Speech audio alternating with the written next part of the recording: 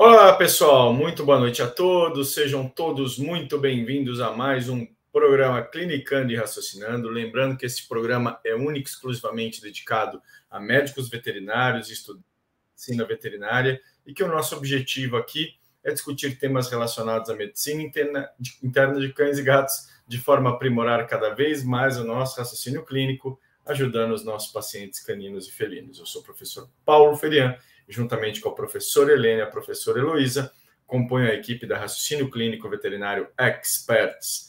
Muito boa noite a todos vocês, muito obrigado pela presença. Vamos ver quem está por aí. Boa noite, Tereza, Lígia, André Abdala, Everson, boa noite, Marcela, Tereza. Tereza de novo, né? já falei. Patrícia, Ana Maria, boa noite, Mara, Andresa, Angélica, Kathleen, Alessandra. Beatriz Nabuco, Tairiele, Brubi, muito obrigado pela presença de todos vocês aqui hoje. Vamos ver quem está por aí no Instagram. Rafinha Silva, Valéria, Tati, Vete86, muito obrigado pela presença de todos vocês, pessoal. Voltando ao trabalho, Samara, muito bom, excelente. Voltando do trabalho, né? Eu ainda estou no trabalho, ainda tenho pela frente ainda. Bora então, pessoal. Gente, hoje a nossa conversa é sobre dermatofitose, mas antes da gente conversar, vou dar um adiantamento aqui que entre os dias 10 e 13 de julho nós estamos preparando um evento para vocês, um curso totalmente online gratuito. Esse é diferente, é novo e chama o Jogo do Diagnóstico Veterinário. Imagina um jogo de xadrez, você jogando e teu adversário é quem? É a enfermidade, é a doença. E aí você vai ter que ganhar, né? Não tem jeito não. Então fica de olho que entre os dias 10 e 13 de julho a gente vai estar tá com esse curso bacanérrimo aí que estamos preparando para vocês, bem divertido, novo, bem bacana. E você vai poder aprimorar então suas habilidades na clínica de cães e gatos, trocar experiência com outros profissionais e melhorar o seu diagnóstico, os seus resultados. Como é que você faz para participar? Só cadastrar no link que está lá na bio do nosso Instagram, tá? Ou na descrição da live aqui no YouTube. Também é só você clicar e se inscrever. Online, gratuito, 10 a 13 de julho, o jogo do diagnóstico veterinário. Vai ser bem bacana, não perde não. Beleza, pessoal? Muito bem. Bora lá então, pessoal, conversar sobre dermatofitose. Olha só, avisando o pessoal que está aí nos assistindo no Instagram, hein? Eu vou projetar uns slides aqui, porque como a nossa live hoje é de dermatologia, que muito me agrada particularmente, né, mas não é um assunto que a gente costuma tratar muito aqui na raciocínio clínico veterinário. Hoje tem slide para mostrar lesões, né? Mostrar alguns casos para vocês. Começou sim, Larissa. O pessoal aqui do YouTube está conversando comigo. Certo, pessoal? O pessoal do Instagram falando que no YouTube não começou. Começou. Opa, começou sim. Estamos ao vivo aqui no YouTube. E já estamos projetados aqui também. Pessoal aqui que está no YouTube comigo, me confirme, por favor, se está projetado aí o slide de dermatofitose, por gentileza.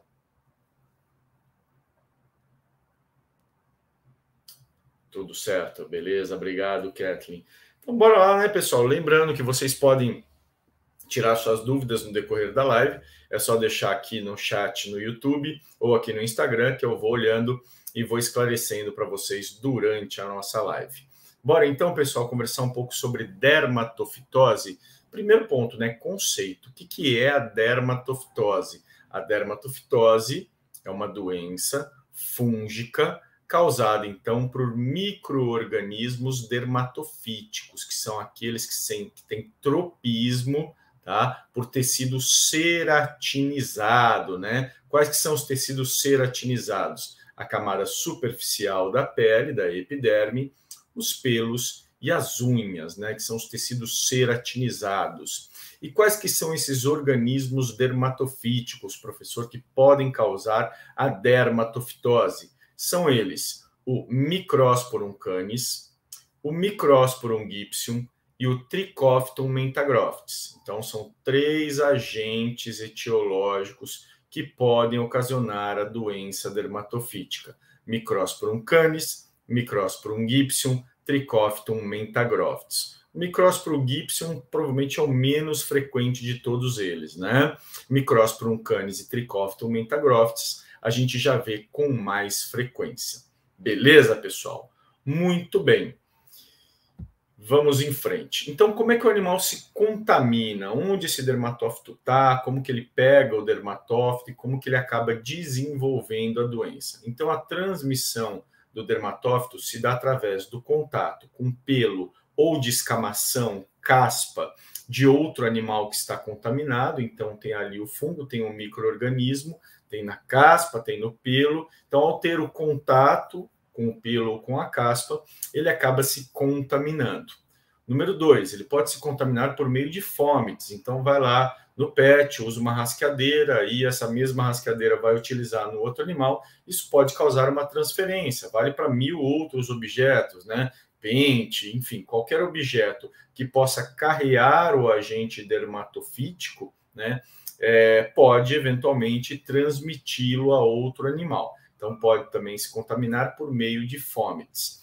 Uh, contato direto, animal-animal, né? então, pelo contato íntimo entre um e outro animal, o animal que está carregando o agente dermatofítico, carregando, e o animal que é suscetível.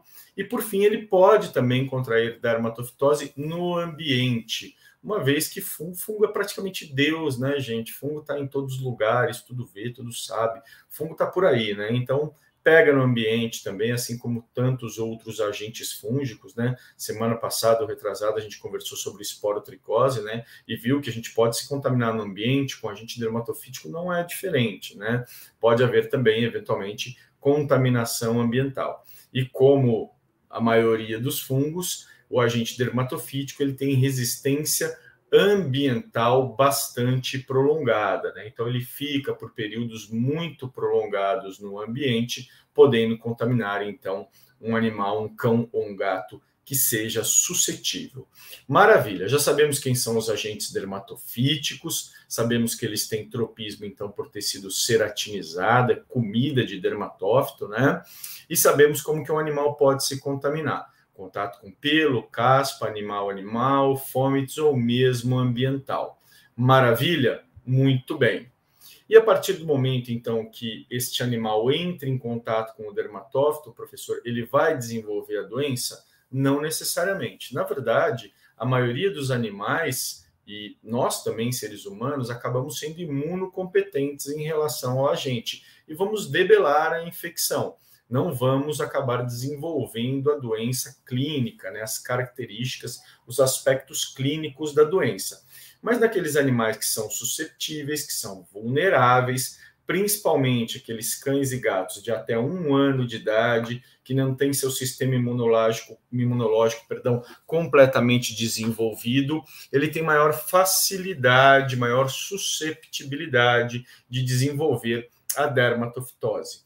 Então, a partir do momento que há o contato com o agente, né, você tem ali no animal imunocompetente uma barreira cutânea, uma produção de sebo, uma imunidade celular que impedem que o agente penetre e que cause doença.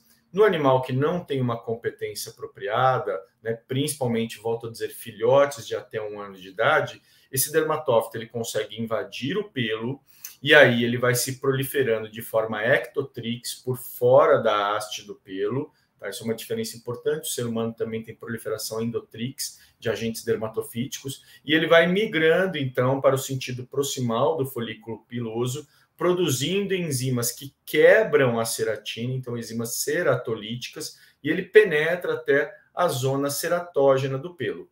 E aí duas coisas podem acontecer. O animal eliminar a doença em até três meses, né? O pelo entra em fase telogênica e esse, essa infecção, esse agente é eliminado.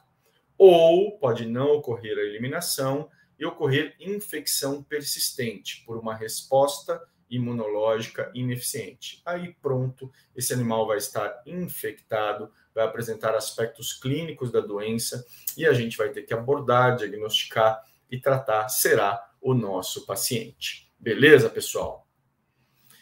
Muito bem. Professor, quais são os aspectos clínicos que me levam a acreditar que aquele paciente que está no meu consultório, que está lá na mesa sendo examinado por mim, ele possa ter dermatofitose? Número um, muito importante: nenhuma lesão confirma a doença dermatofítica. Não há lesão patognomônica de dermatofitose. Ah, mas a lesão alopécica circular pode ser um tanto de coisa. Ela não é nada específica, esse tipo de lesão, e o dermatófito causa trocentos outros tipos de lesão. Tá? Então, não dá para confirmar o diagnóstico por meio apenas da inspeção, da avaliação clínica, do exame físico, tá? A gente vai precisar, para fechar o diagnóstico, de alguns exames subsidiários, os quais a gente vai conversar daqui a pouco. Professor, é muito comum a dermatofitose? Não é tão prevalente assim, não, tá? Nem se compara, por exemplo, com piodermite, com dermatite atópica, né, que a gente tanto atende no consultório veterinário. Alguns trabalhos mostram aí prevalência em cerca de 4%.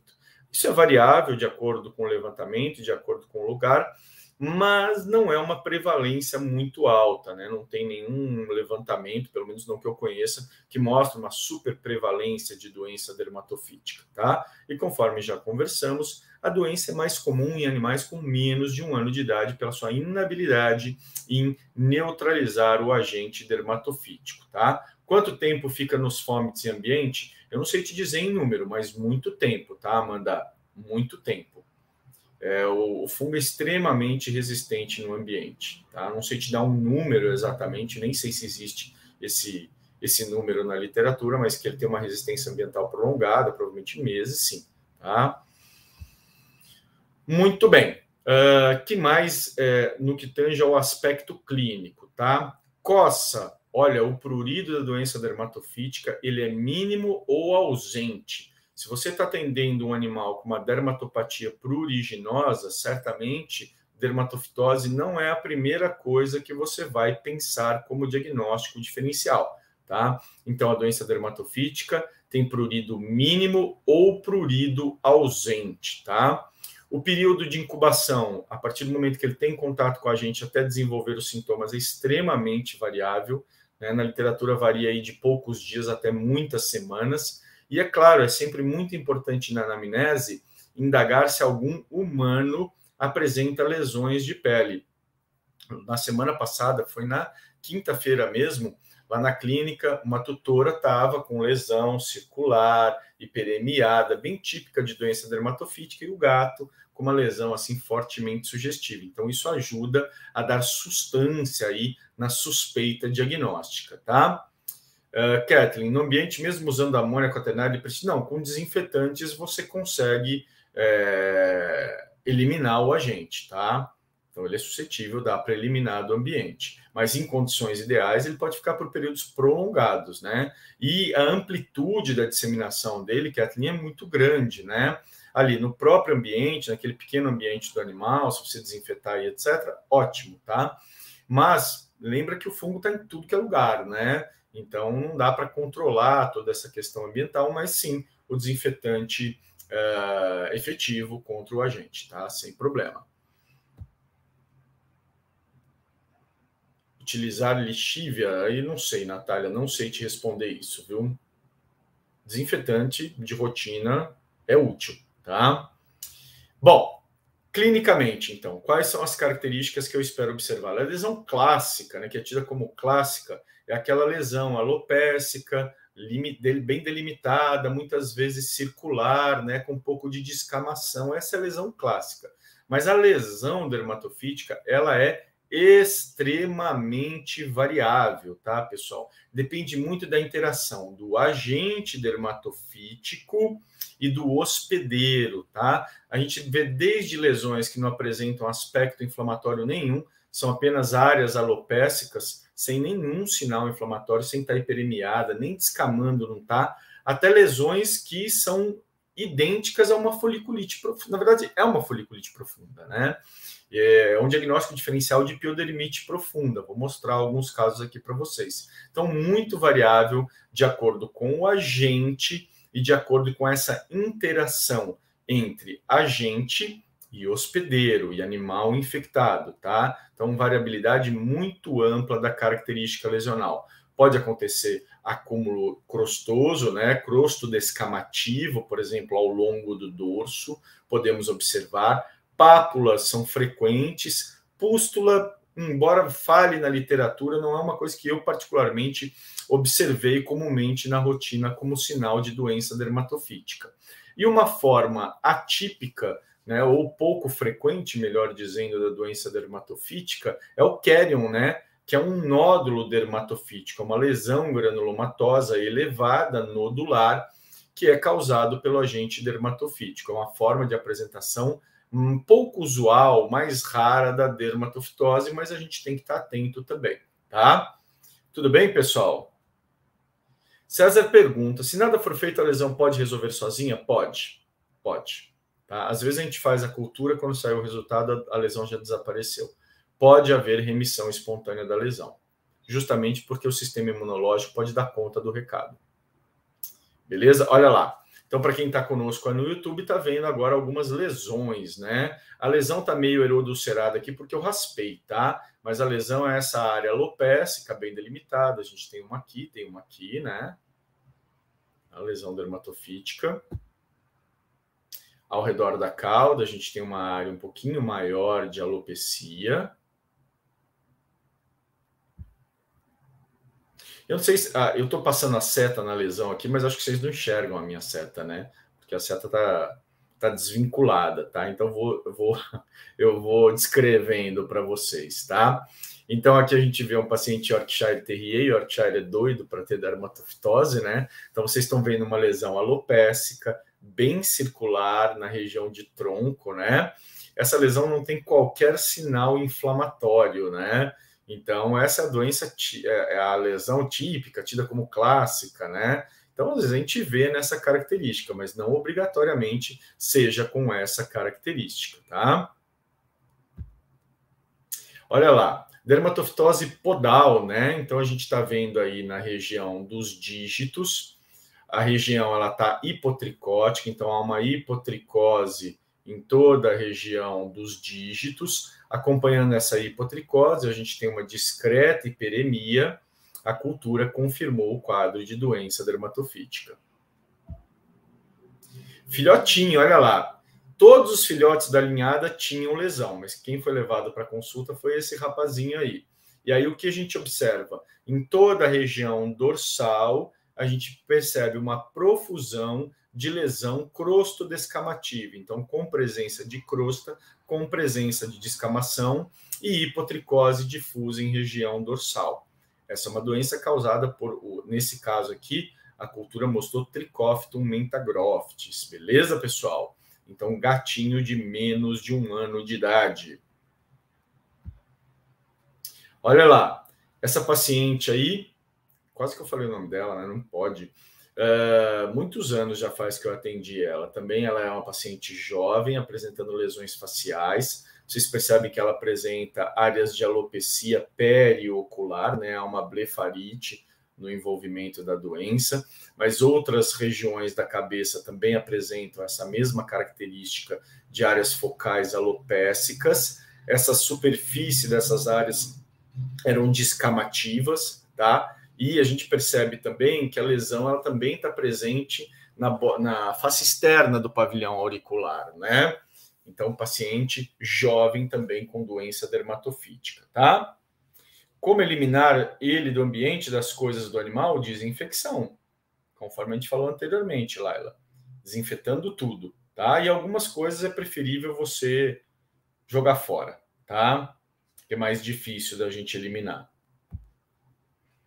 E aqui não é paciente meu, isso aqui é retirado de artigo, mas para mostrar para vocês a lesão com característica de Carrion, né? Então a gente está vendo duas lesões aí, são lesões em placa elevadas, com a região, super, a superfície da lesão erodulcerada, né? Uma lesão que facilmente poderia ser confundida com carcinoma de células escamosas, com uma lesão neoplásica, com granuloma bacteriano, mas essa lesão é a lesão de Carrion, tá? Doutora Beatriz Nabuco pergunta: com evolução pode haver comprometimento sistêmico e tratamento além de tópico deve ser oral? o tratamento oral, conforme a gente vai ver adiante, ele vai ser recomendado em praticamente todos os animais. Não é a repercussão sistêmica que determina isso, tá? Repercussão sistêmica de dermatofitose é muito difícil da gente observar, tá?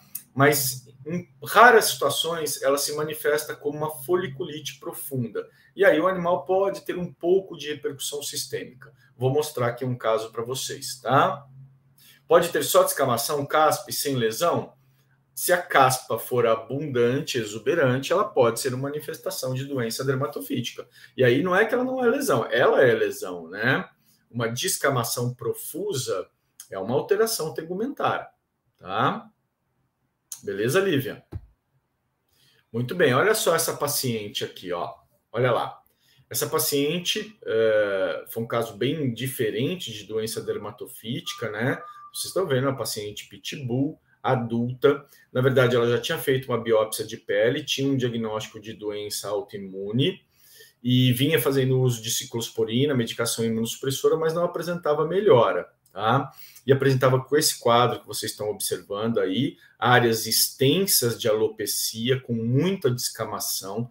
A gente vê na região facial dela bastante hiperceratose, né? A pele muito espessada na região, tá? E em função do quadro, foi coletado o exame para cultura dermatofítica e foi suspensa a medicação imunossupressora e foi sugerido uma nova biópsia de pele, uma nova abordagem histopatológica para essa paciente. E aí, nos trâmites, né, enquanto aguardava, pré-operatório, marcando tudo, a logística para realizar o exame, olha o que aconteceu com ela. Aí ela está anestesiada para fazer a biópsia, né? A lesão, assim, cavalgou, né? É, agravou muito. Então a gente vê aqui áreas, além da área extensa de alopecia, lesões crostosas profundas. Uh, vocês estão vendo ela deitada, entubada, na face dela. Vocês estão vendo um grave espessamento cutâneo com lesões profundas, trajetos é, fistulosos drenantes, assim, exudação, um quadro que perfeitamente poderia ser uma piodermite profunda é um diagnóstico diferencial, inclusive, desse caso, né? E essa paciente, a cultura dermatofítica foi negativa, mas no exame histopatológico de pele, o resultado mostrou, né, a coloração especial, mostrou uma profusão de hifas nos folículos, confirmando um quadro realmente de doença fúngica, de doença dermatofítica, né? Meu colega, professor Lissandro Conceição, melhores dermatologistas, dermatopatologistas do Brasil, né? Quem muito admiro que fez esse exame para mim, tá? Professor da Universidade Federal de Viçosa. Uh, então, foi fechado o diagnóstico realmente de doença dermatofítica, mas percebam que o quadro clínico é muito diferente, né? Muito exuberante, lesão profunda. Aqui, essa paciente teve alguma repercussão sistêmica. Quando ela estava muito sintomática, ficava um pouco mais quieta, tá? Não foi uma repercussão grave, assim, né? Mas é um caso bem atípico, né? Ah, o pessoal conhece aí o Lissandro, né? E melhor de tudo, é corintiano, né? Se bem que não estou podendo falar muito isso, não. Uh, vamos em frente, então. Diagnósticos diferenciais, dois principalmente, tá? Foliculite estafilocócica, demodiciose. São foliculopatias, né? Então, as lesões podem ser muito semelhantes entre uma piodermite, uma foliculite estafilocócica, uma demodiciose, uma dermatofitose. Existem outros diferenciais, evidentemente, né? As próprias dermatopatias autoimunes. A verdade, pessoal, é que dermatofitose pode mimetizar quase que qualquer doença dermatológica, tá? Geralmente, como eu falei, uma dica importante é coçar mínimo ou nada, tá? Doenças pruriginosas, normalmente a gente descarta ou minimiza aí a possibilidade, minimiza, né, de dermatofitose, tá? Mas ela é um diagnóstico diferencial de praticamente tudo, tá, pessoal? Beleza? Fernanda pergunta: o tratamento com imunossupressores pode ter piorado o caso? Pode, né? mas a condução convergia para esse diagnóstico. Ela tinha lesões que sugeriam ser, tá? E o exame histopatológico sugeriu ser. Então, às vezes, a gente tem resultados que acabam é, não se concretizando como diagnóstico definitivo. E aí é a hora de reavaliar o quadro, né? Então pode acontecer com qualquer um de nós, ter uma né, um resultado, a gente tem que interpretar o histopatológico, né? E quando ele não é consistente o tratamento não está dando certo, muitas vezes a gente tem que repetir, tá? Isso acontece com todo mundo que pratica dermatologia, né?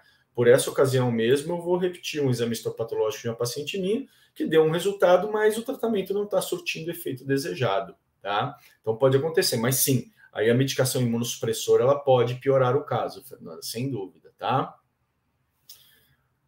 Tudo bem, pessoal?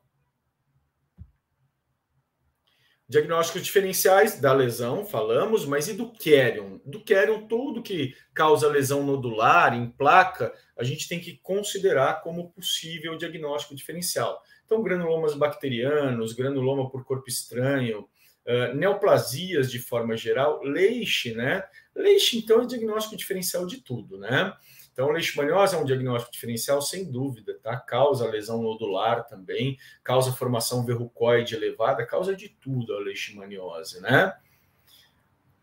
Beleza, pessoal. Então já sabemos também os diagnósticos diferenciais. Olha lá. Aqui são lesões nodulares, tá? São dermatofíticas? Não, mas poderiam ser. Coloquei aqui para mostrar diagnósticos diferenciais. À direita, essa lesão circunscrita, bonitinha, é um carcinoma escamoso, de células escamosas, e na cabeça do labrador chocolate é um granuloma por streptococcus, tá? Então são lesões que podem aí uh, ser diagnósticos diferenciais de um querium dermatofítico. Professor, aquela lesão anterior na face poderia ser calcinose cutis ou só se ela apresenta no hiperadreno? Ela é uma lesão típica do hiperadreno ou do uso crônico de esteroide exógeno, que é um hiperadreno iatrogênico, tá? E na calcinose é muito comum que a gente consiga é, palpar as placas de cálcio. Nas fases agudas, não, não dá para palpar nada, tá? É, mas como não tinha clínica né, de uma doença que sugeria de, de hiperadreno, então nesse caso especificamente não. E a topografia lesional também não é muito essa é, do quadro de calcinose cutis, né? Muito comum aqui no tronco, virilha, né? Cometendo mais essa região. Beleza? André Abdala, professor, na cadela com comprometimento sistêmico só fechou o diagnóstico com histopato? Exato. Cultura foi negativa, a gente vai falar de diagnóstico. Tem alguns exames que a gente faz, nem todos necessariamente vão dar o resultado positivo, tá?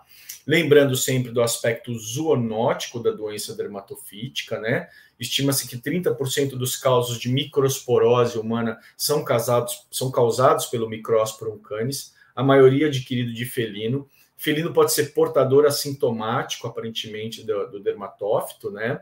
Então, ele pode transmitir mesmo não tendo a doença ativa.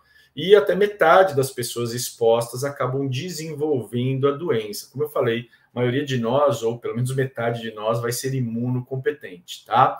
Muito comum doença no braço. Toda vez que eu vejo o tutor, eles têm com doença dermatofítica, eles têm a doença nos membros, membros superiores, tá? Curiosamente, couro cabeludo e tronco são as principais áreas lesionais em seres humanos, tá? Aí a gente está vendo algumas imagens, né? Uma lesão nas nádegas, nas unhas, no tronco daquela menina. Essa lesão em humano é muito típica, né? Essa lesão circular e assim. A que eu vi na semana passada na tutora era aqui no membro e era uma lesão idêntica a essa. E aí o piá ali, né?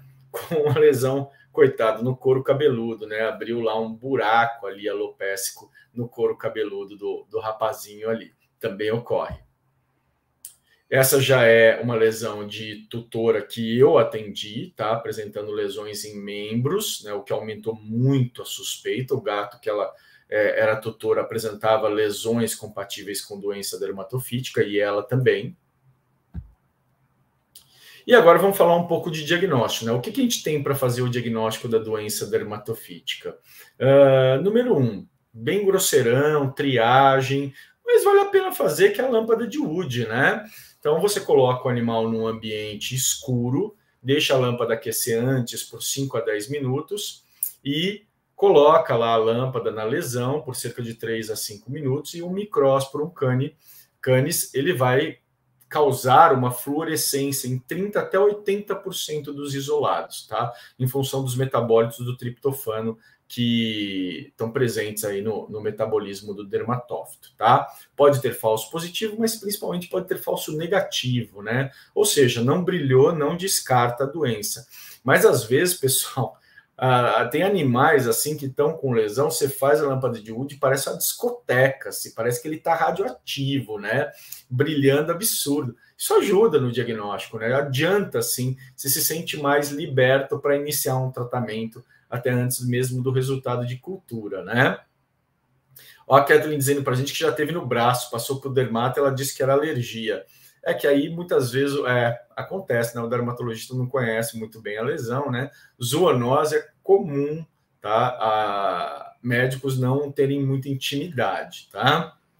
Temos que deixar a lâmpada por 3 a 5 minutos? Tem, Breno, mas assim, às vezes brilha muito antes disso, tá? A maioria brilha antes, tá? Que, que eu acho sobre a lâmpada de Wood? O que eu acabei de falar, é um teste de triagem, né? É um teste de triagem, a gente não vai usar ela para o diagnóstico definitivo. Ela vai ser um teste grosseirão de triagem, mas a gente não vai deixar de fazer outros testes porque a lâmpada de Wood deu positivo, de forma nenhuma, tá? Então tá aí, paciente brilhando, né? O gatinho ali com a orelha fluorescente, né? Na cauda também. Sugerindo, um, o, o, esse da cauda, salvo engano, é o da tutora que está com lesões dermatológicas. Muito bem. Larissa, professor, tem dificuldade em escolher qual pedir, cultura antibiograma e a fúngica. Quais seriam as maiores diferenças entre as lesões? Ah, é bem diferente. Primeiro, ó, cultura e antibiograma, é, a gente quase não usa para pele exceto para pioderma profunda. Tá? A piodermite superficial, na maioria das vezes, não faz cultura e antibiograma, porque é estafilococcus pseudointermédios. A gente só vai fazer quando a doença é resistente ao tratamento, quando tem tutor imunossuprimido. Então, não faz normalmente, tá, Larissa, na, na lesão é, da piodermite. Então, quando a gente vai fazer para fungo, é porque a lesão sugere um quadro dermatofítico. A piodermite tem uma clínica um pouco diferente, ela é mais pustular, né? frequentemente associado a doença alérgica de base, ou então doença parasitária como a, derma, a demodiciose como base, né? E por aí vai, tá bem? A Bruna dizendo que também já teve no braço durante o estágio de graduação, acontece, né? Não, a gente tem exposição ocupacional, né? Estamos em risco maior desse tipo de afecção. Ah, aquelas canetas de luz azul servem para fazer esse teste? Se for a lâmpada é, violeta, igual a de Wood, serve, ué. Basta ela emitir o mesmo, é, a mesma luz que a lâmpada de Wood, tá? E acredito que não sei exatamente qual que você está falando, mas deve servir sim, tá? Coleta de amostras. Então, beleza, vamos coletar amostra para fazer um diagnóstico definitivo. Como é que eu vou fazer? Tá? Eu vou coletar a lesão da, mar, da margem, principalmente, tá? Que não tem utilizado medicação recente, em geral peço sete dias sem medicação. Pode passar álcool 70 para tirar contaminantes do local. Você pode colher com lâmina de bisturi, com escova de dente e com pinça, tá? Eu, particularmente, uso mais lâmina de bisturi. Eu gosto mais, tá? Então, vou ali, né, tirando aqueles pelos da borda da lesão, bastante de escamação, e vou colocando ali dentro do potinho, né, para mandar para a cultura, e depois também uma amostra para fazer a microscopia. Pode tirar, às vezes eu tiro também com a pinça, acrescento na amostra, tá? Deve ser evitado lesão exudativa, crosta, lesão exudativa, isso você deve evitar para o material para cultura dermatofítica, tá? Unha não é muito nosso foco aqui, não vou falar sobre isso. E aí você vai fazer duas coisas com essa amostra. Você vai fazer a microscopia direta e você vai mandar uma amostra para fazer a cultura dermatofítica, tá? O exame direto tem que ter um treinamento para poder observar, tá? Não é tão simples assim. Em geral, a gente vê as estruturas ectotriques, então ao redor da haste do pelo. A gente avalia com óleo mineral ou, de preferência, hidróxido de potássio, a potassa, tá? Para clarificar esse material. E aí você pode ver as hifas septadas ou os artroconídeos ao redor da haste do pelo, tá? Invasão ectótrix, que nem eu falei anteriormente, né? Que a gente vai ver ao redor da haste. E não define o dermatófito, mas é suficiente para um diagnóstico genérico, tá? Mais do que suficiente para instituir um tratamento. Tudo bem, pessoal? E a cultura fúngica? Eu vou mandar amostra também para a cultura fúngica. Né? A cultura demora um pouco, ela vai ser inoculada em destrose agar de saburro ou o DTM, né, que é o meio específico. O DTM muda para vermelho em 10 a 14 dias. E aí vai ser feito o exame microscópico das colônias e definir a espécie, a Microsporum canis, Gipsium ou Mentagrofts, ou Trichophyton mentagrofts. Faz diferença para tratamento? Não faz. Não faz diferença, tá? Só uma coisa assim que eu posso dizer, normalmente as lesões que nem vocês viram naquela cachorra, profundas, mais comumente são causadas por Trichophyton mentagrofts. Mas não muda o tratamento, tá? Você não vai escolher um ou outro antifúngico por causa da espécie, tá? Então, é, tranquilo em relação a isso. Pode dar falso negativo? Pode não crescer? Pode. Aquela pitbull não cresceu nada. A gente fez o diagnóstico por meio de histopatologia. Então, se a clínica é compatível, não descarta caso o resultado venha negativo. Patrícia perguntando: pode ser confundido com feridas de sarna ou não? Pode, quando. É, pode, pode. Principalmente a demodiciose, tá? Escabiose coça muito, não. Diria que não. Mas a demodiciose, sim, é um diagnóstico diferencial. Falamos, né? É, que é uma foliculopatia também, a demodiciose. Então, é um diagnóstico diferencial da doença dermatofítica. Histopatologia, tá? Não é o objetivo aqui ficar descrevendo as alterações histopatológicas, né? Uma dermatite hiperplásica, superficial, perivascular, não. Só saber que vai ser feita a coloração especial e se houver microorganismo, ele pode ser encontrado então no folículo piloso. A histopatologia também é muito útil nas formas nodulares, na lesão de Carrion, né? Que frequentemente a gente faz o diagnóstico histopatológico, tá? Com a retirada da lesão e avaliação histopatológica. Breno Menezes, fazendo a coleta por bisturi, não podemos perder o diagnóstico, uma vez que o dermatófito se concentra mais no bulbo, por isso que eu faço as duas coisas. Ele também está ali na descamação superficial, tá, Breno? Então eu colho ali o pelo com descamação e pego a pinça e arranco os pelos também. Tá? Eu faço as duas coisas. Doutora Beatriz Nabuco, eu coleto três camadas, pelo, pele e sangue mando em dois sanduíches de lâmina e peço direto e corado. Dá certo? Para microscopia, é, ok, né? Mas assim, você não precisa fazer um raspado profundo para a cultura dermatofítica, tá? Não precisa, que nem para a gente fazer para demodiciose, a gente tem que fazer o raspado profundo, né? Para cultura dermatofítica não é necessário. Agora, você está considerando demodiciose? Sim, o raspado é assim mesmo que se faz, tá? Por que não a amostra não pode ser colocada em frasco fechado, tá? O fungo não é anaeróbico, né? Então eu sempre faço uns furinhos no frasco para mandar para o laboratório. Tá bem, Jéssica? Muito bem. Então nós vimos aí pelo menos quatro abordagens complementares, né? A gente falou do, da lâmpada de Wood, a gente falou da microscopia direta, a gente falou da cultura dermatofítica e falamos da histopatologia. E o tratamento da doença dermatofítica? Conforme o colega perguntou, né? E eu respondi, mas está ali no slide, ocorre remissão espontânea em alguns casos, né? Pode acontecer, tá? Mas a gente, é, quando precisar tratar, a gente tem que estar preparado e é, saber a melhor forma de abordar esse paciente, maximizar, maximizar a resposta é, dermatológica, né, capacidade de resposta, minimizar a transmissão da doença, tá? Então, como que a gente pode fazer isso? Tratamento tópico é imprescindível, tá? Tem que ser realizado. Uh, a tricotomia ela é controversa na literatura, tá? Então não há um consenso em relação à realização da tricotomia é, é, generalizada no animal, né? Então, por exemplo, você raspar um chau-chau todo para fazer, e se for fazer isso, tem que ter muito cuidado, porque a disseminação ambiental vai ser brutal nesse caso, né? Então, tem que espalhar plástico, né, saco plástico por todo o chão para poder recolher, desinfetar tudo. Mas a, a literatura é controversa, não há um consenso em relação a isso, tá? Em relação à realização da tricotomia. Geralmente, cremes e loções não são apropriados, porque ah, eu estou vendo uma lesão focal, mas em geral o dermatófito está muito além desta lesão, né? ela não está restrito ali àquela região. Portanto, a melhor forma de tratamento em geral é o tratamento na forma de rinçagem ou de shampoo. O que a gente mais usa na rotina é o shampoo, shampoo de cetoconazol, tá? É, 2%, é o que a gente mais utiliza, tá? É um bem efetivo, prontamente disponível, barato. Você vai fazer o banho de corpo inteiro duas a três vezes por semana. Posso fazer mais na lesão ali diário? Pode, não há problema, quanto mais melhor. Mara perguntando: a amostra do querium para estopato retira a lesão toda? Retira, né?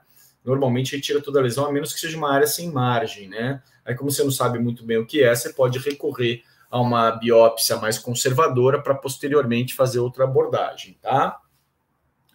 Se só a borda é suficiente, é, mas se tiver margem, tira tudo, né? Já contribui, já, já resolve muitas vezes, né? Tairelli, sempre fico meio perdida com tratamentos em dermato, principalmente com questão ao uso de corticoide. Doença fúngica pode usar? É, não é questão de poder, não tem, não tem indicação, tá, Tairelli? Não tem por que usar corticoide na doença dermatofítica, tá? Então, nesse caso aqui, não é recomendado. O uso de antibiótico tópico pode piorar a lesão fúngica?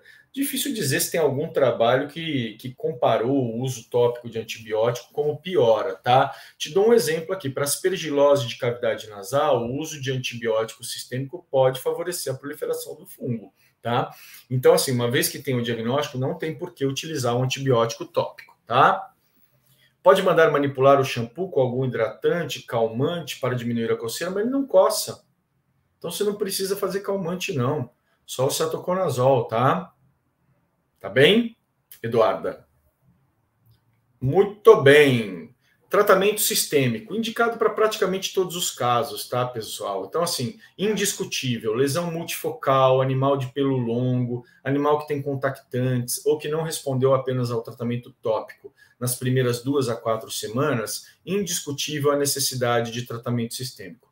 Confesso que eu uso para a imensa maioria o tratamento sistêmico, por ter caráter zoonótico, risco de disseminação, tá? Então é a minha preferência, mas isso não é, elimina a necessidade do tratamento tópico, tá? É bom que fique claro. O tratamento sistêmico não elimina a necessidade do, trata do tratamento tópico, tá? Uh, uso de antipulgas auxilia no tratamento? Não, não necessariamente, tá? Não, não, tem uma relação direta. Qual que é o tratamento sistêmico? Pessoal, itraconazol, né? É o fármaco de primeira linha, de escolha, 5 a 10 miligramas por quilo uma vez ao dia, tá? Uh, é o tratamento preconizado, mais utilizado, não tem mais por que usar o cetoconazol, né? É, lá nos primórdios, né, quando comecei a praticar, como eu sempre digo, lá na Idade Média, itraconazol era muito caro, né? Então, às vezes ainda era difícil. Hoje não, não tem por que deixar de usar para usar o cetoconazol, tá? Coloquei a griselfulvina aí, mas assim, eu mesmo não tenho experiência com ela, tá? uso sempre o itraconazol para tratamento de doença dermatofítica, tá? O recomendado é manter o tratamento até três culturas negativas semanais, tá? Então, você semanalmente, teoricamente, você faz uh, a coleta de cultura, vai enviando, e quando der três coletas negativas, aí, teoricamente, você pode interromper o tratamento. Vou falar um pouco mais sobre isso. Em gatos difíceis, tratamento tópico, qual a frequência mínima? É, Boa pergunta. Tem gato que não dá para usar o shampoo, por exemplo, né? Ele não contribui. Aí você pode fazer rinsagem, tá? Pode fazer o spray. E se não der, ele é agressivo, não tem como, aí só o tratamento oral, tá? Então, Natália, eu nunca usei a griselfovina. Trago, trouxe só do slide da literatura mesmo, tá? Eu não tenho experiência com fármaco. Tá bem? Eu particularmente não uso, não é a escolha, né? O itraconazol é o tratamento de escolha. Então, pessoal, assim, uma forma que eu utilizo para controle de dermatofitose, tá? Às vezes não dá para fazer a cultura toda semana, né? Não é possível por diversas questões, razão, é, é, custo e etc. Tá? O que você pode fazer? Tratar por 30 dias, coletar um exame de cultura no trigésimo dia, enquanto aguarda o resultado, mantém o tratamento. Se o resultado chegar dali 15 dias negativo, você mantém o tratamento até completar 30 após o dia da coleta. Então, ele acaba fazendo dois meses de tratamento. Aí, se deu positivo, mantém o tratamento até completar mais 30 dias, colhe uma nova cultura, enquanto aguarda o resultado, mantém o tratamento. Deu negativo, mantém até completar o mês. Então, o animal, nesse esquema, vai fazer aí dois, três, quatro meses de tratamento, dependendo aí do resultado da cultura negativa, tá? Mas se for possível, culturas semanais, três culturas negativas, interrompe o tratamento, tá? Em geral, o tratamento aí vai ser utilizado por pelo menos, no mínimo aí, quatro semanas, mas frequentemente a gente estende esse tratamento para meses, né? Cinco meses. Aquela paciente que vocês viram com um quadro profundo, eu tratei seis meses, ela melhorou muito, cultura estava negativa, eu suspendi o tratamento. A doença voltou, tive que tratar ela por bem mais de um ano para que ela estabilizasse o quadro dermatofítico dela, tá? A cultura não é demorada? É, você vai mantendo a medicação enquanto vai aguardando os resultados. Tá bem?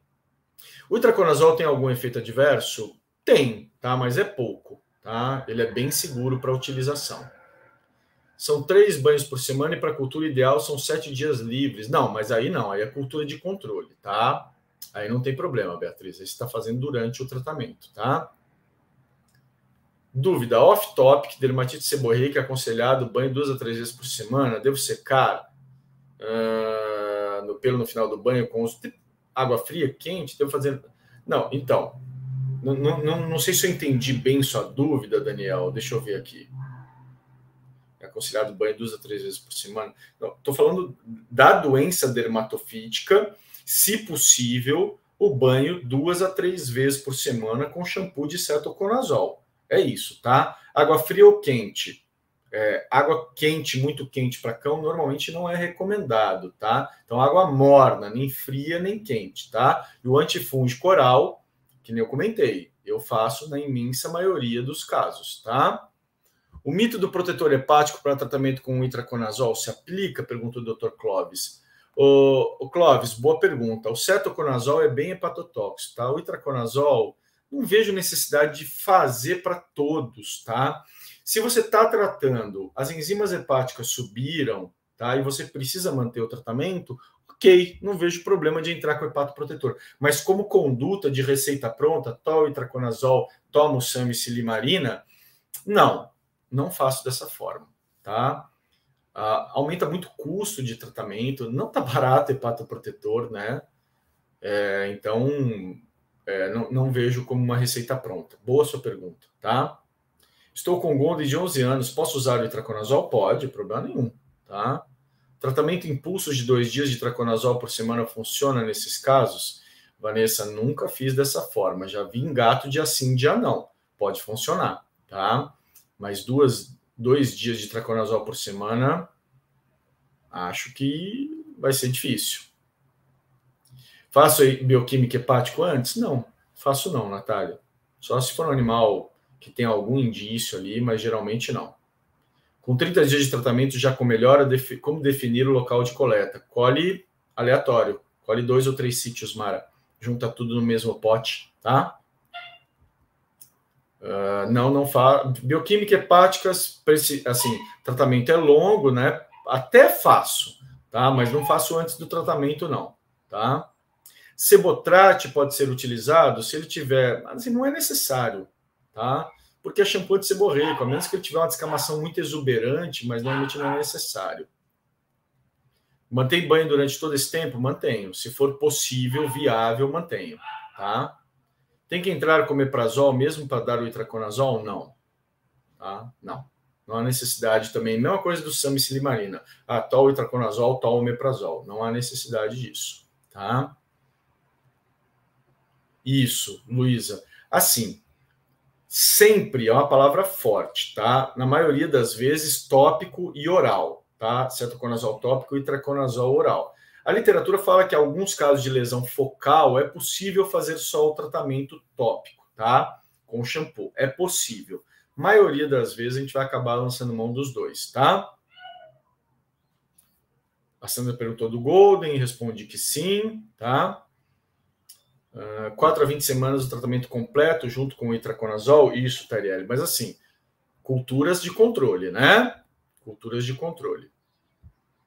Para coleta durante o tratamento, quantos dias sem banho? Não, aí, Mara, você vai colher entre banhos, não vai ter jeito, né? Você vai colher entre banhos. O animal está tomando dois, três banhos por semana, você vai colher. certamente próximo de algum banho, mas aí é controle de tratamento, não é para diagnóstico, né? É, Francine, eu nem uso omeprazol com antifúngico assim, tá? Nem uso, para te falar a verdade. Imunoestimulador acha que ajuda? Não, Rafael, acho que não, tá? Humberto, assim, o Humberto está perguntando, eu faço cetoconazol 20mg quilo a cada 12 associo com ceto. Assim, eu te recomendo trocar esse cetoconazol por itraconazol, tá? Ele é bem menos hepatotóxico, bem mais seguro, hoje é muito acessível, tá? Não tem muito mais por que usar o cetoconazol ao invés do itraconazol, tá? Ufa! Olha só, acabando nosso tempo aqui, hein? Mas deu para falar bastante, né? Todo o script da doença, tá? Dermatofitose pode ser muito difícil, um desafio para tratamento. Gato de pelo longo, meu Deus do céu, é difícil, tem que tratar o ambiente, tá? É, tem que, assim, casos mais difíceis, investigar a doença de base que possa eventualmente imunossuprimir o paciente, tá? É, mas alguns casos realmente podem ser desafiadores. A Camila, itraconazol manipulado funciona também? Camila, sua pergunta é difícil, capciosa, né? A literatura fala nisso, eu já vi colegas falarem sobre isso, né? Expoentes da dermatologia, falar assim, ó, estava tomando manipulado, não deu, aí tomou oral, foi ótimo. A literatura, essa semana mesmo eu li um texto falando sobre o itraconazol em outra condição não dermatofítica, que falou que a biodisponibilidade é menor do manipulado, mas parece ser efetiva eu priorizo a medicação não manipulada para dermatofitose, tá? Mas não, não é que é um, não é permitido usar a manipulada, não é isso, tá? Mas eu não tenho um dado efetivo para te passar. Difícil, né? Vi orientação em casa de tutor gato no sofá usar aqueles aparelhos de vapor vaporeto. Sim, Mara, também já vi muito essa recomendação. Seria justificável? Sim contamina muito o ambiente, né? Ômega 3 tem é, algum benefício para recuperar a pele? Na dermatofitose, não. Tá? Professor, aquele vídeo você respondendo perguntas, podia fazer mais vezes? Podemos, podemos sim. Normalmente esses são as quartas-feiras, Larissa. Pode, Rafaela, pode associar o clorexidine, mas o cetoconazol já, já é suficiente, tá? A Jéssica pergunta do protetor, falei, não é necessário, tá? Como rotina, não é necessário. É isso, pessoal. Então, estamos finalizando a nossa live de hoje, script de doença sobre dermatofitose em cães e gatos. Lembrando, então, nem do nosso evento entre 10 e 13 de julho, o jogo do diagnóstico veterinário. Vai ser muito bacana. Não perca, faça sua inscrição lá na bio do nosso Instagram ou na descrição desta live, tá? Não deixa de se inscrever. 0800 na faixa totalmente online, totalmente gratuito, tá? Beleza, então, pessoal, vou agradecer aqui a presença de todos vocês em mais uma live. Quarta. Ah, ó, nossos cursos aqui tem módulo só de dermatologia, tá? Para vocês aí que gostam de dermato, como eu gosto de dermatologia, gosto de dermatologia veterinária, gosto de dermatologia humana, de dermatologia o máximo. Você que gosta, nosso curso tem um módulo apenas de dermatologia, tá? Ministrado por uma fantástica dermatologista, ex-aluna nossa, doutora Bruna. É isso aí, então, pessoal. Muito obrigado pela presença de todos vocês aqui hoje. Quarta-feira eu volto com mais um Clinicando e Raciocinando. Um grande beijo. Até a próxima. Tchau, tchau.